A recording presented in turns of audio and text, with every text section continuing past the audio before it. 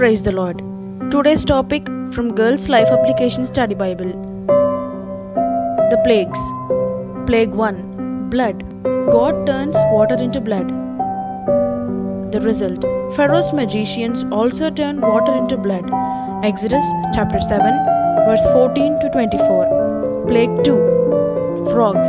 Frogs cover the land. The result Pharaoh's magicians also make frogs appear. Exodus chapter 8, verse 1 to 15. Plague 3 Gnats. All the dust of Egypt turns into gnats. The result Magicians say it is the finger of God, but Pharaoh's heart is still hard and stubborn. Exodus chapter 8, verse 16 to 19. Plague 4 Flies. Swarms of flies cover the land. The result Pharaoh promises to let the Hebrews go, but then hardens his heart. Exodus chapter 8, verse 20 to 32. Plague 5 Livestock. All the Egyptians' livestock die, but none of Israel's are even sick.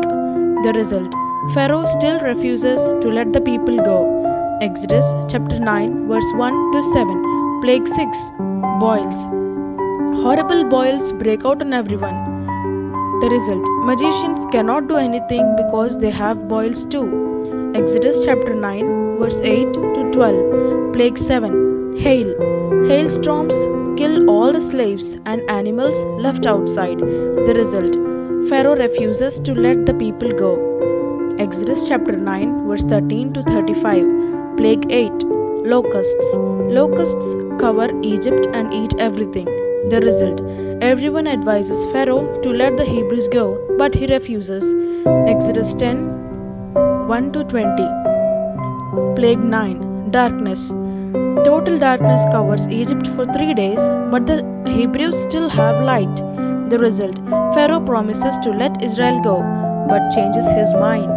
Exodus chapter 10, verse 21 to 29. Plague 10 Death of firstborn. The firstborn of all the people and livestock of Egypt die. The result Pharaoh makes Israel leave, but changes his mind and chases after them. Exodus chapter 11, verse 1 to chapter 12, verse 33. Thank you. Praise the Lord. Today's topic